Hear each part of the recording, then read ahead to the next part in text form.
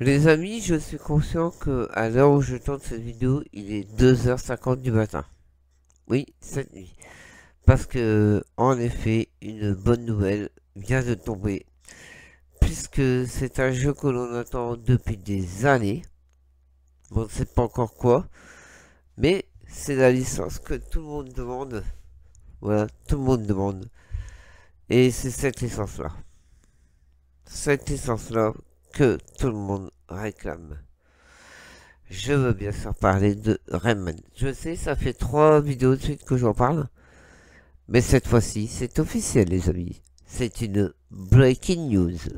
Là, on peut dire que c'est une breaking news parce que euh, voir revenir Rayman dans le monde du jeu vidéo, c'est c'est incroyable. C'est impensable. Et pourtant, c'est vrai. Rayman est de retour et c'est officiel. Ah, bah voilà.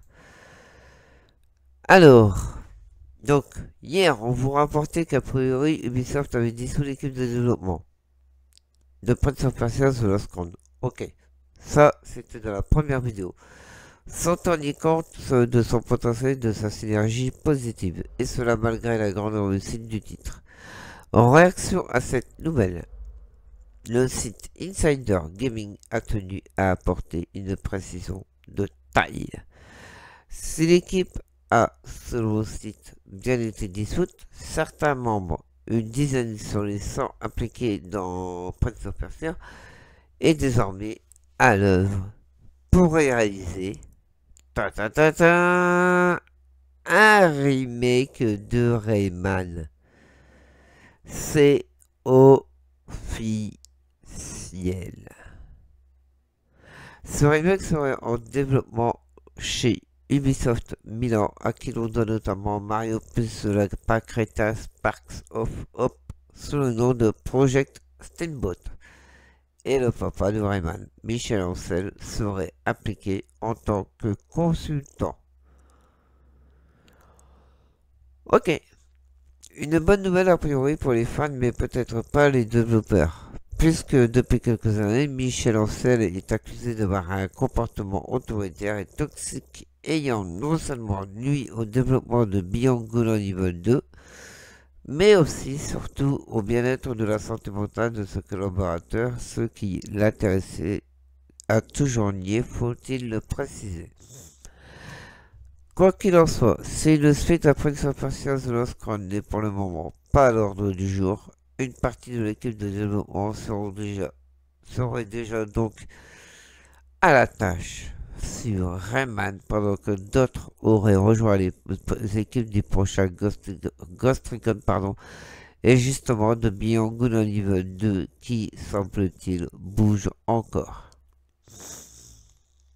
C'est incroyable ce qui se passe. En fait, euh, ce qui a été dit, euh, je me pose un instant. Je me pose. Ce qui a été dit lors de ma première vidéo, en fait, tout, s'est euh, enchaîné. Tout s'est enchaîné et bah, de fait que sur la toile, tout, tout le monde a su la vérité pour ce démantèlement de studio.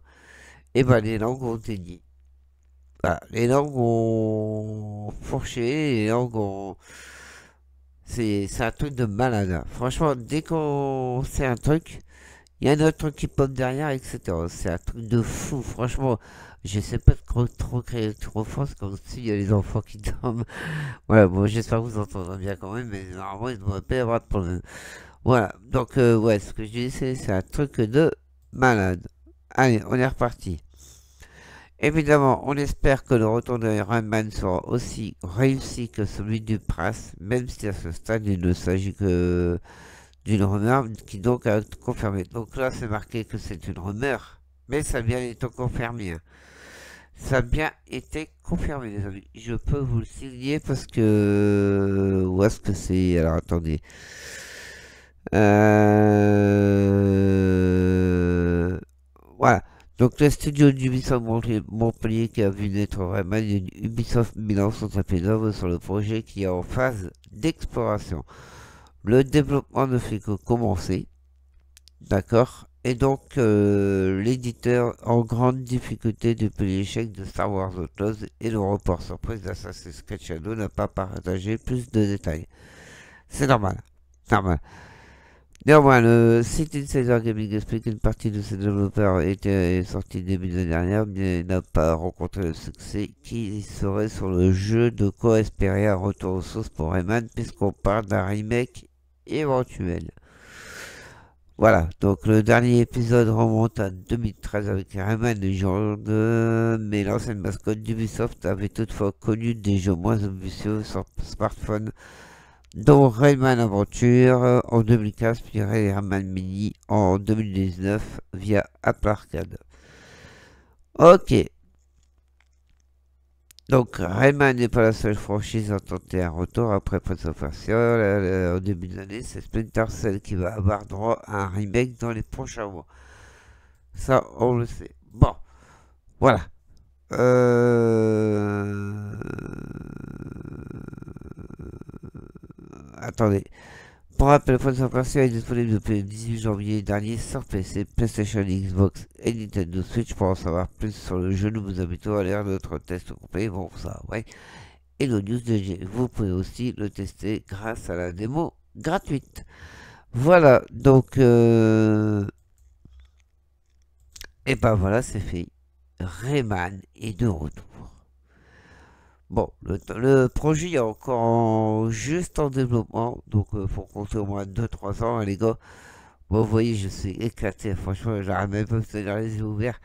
Je suis éclaté, c'est un truc de fou. Mais euh, voilà, je me devais vous faire cette vidéo pour vous ayez en première fois euh, ce matin.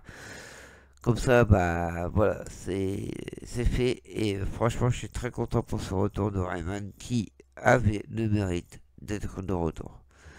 Voilà. Donc, euh, c'est acté, c'est chaussette. Maintenant, à eux de faire un bon Rayman et pas nous gâcher cette licence. Par pitié, ne nous la gâchez pas. Mais d'après ce que j'ai entendu, c'est un remake. Donc euh, voilà, j'ai bien cru entendre parler du remake du Rayman 2. Donc, voilà, on verra. Au départ, j'ai entendu aussi parler de remake de Rayman 1. Euh, c'était quand ça, remonte à plusieurs semaines. Mais euh, voilà. Mais pourquoi pas pour les 30 ans d'anniversaire de Rayman l'année prochaine Après, si le jeu qu'au début de développement, l'année prochaine, je pense que ça va être un peu juste. Voilà.